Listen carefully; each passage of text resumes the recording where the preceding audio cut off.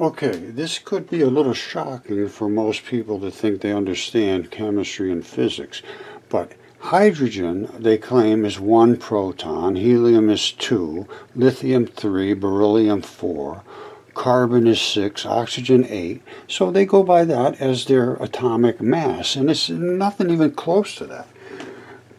Those are just the number they are really in the periodic chart. They, here's the deal, look at this this is lithium. Lithium is right here. All right, it's supposed to be 3. Well, guess what? 3 is a stable state, yes. 3 is in, and in that range, right in between there, they are pretty stable and they don't fall apart, have half-lives. But look at this. These are the half-lives of all the other sizes of lithium. There's a bazillion different lithiums, and these are the weights the atomic weight is how much they weigh. all right, there's the, the which is the mass of them. So they're all different weights, and how can they be all different weights? It's because some of them are missing a few of these, or some of them have a few extra. But they really want to be, let's say, right here. They want to be right there. That's where they're stable.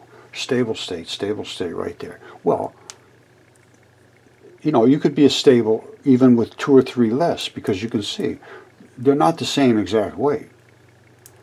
All right, so these go, you lose a couple of electrons, you're still pretty stable. Now, when you get way up and you have a ton of extra electrons, somebody else is going to want them. They leave. So your half-life, you keep breaking down until you end up getting stable, or you keep adding more until you come up to stability. That's all it is, is excess of electrons. So this is nothing like one big proton and there's like three of them make up this whole thing. Absolutely not. It's impossible. Absolutely impossible. Even hydrogen, there's a zillion hydrogens. Helium, same thing. Well, here, here's helium. Look. These are all the different heliums. Supposed to be a noble gas. And only have two.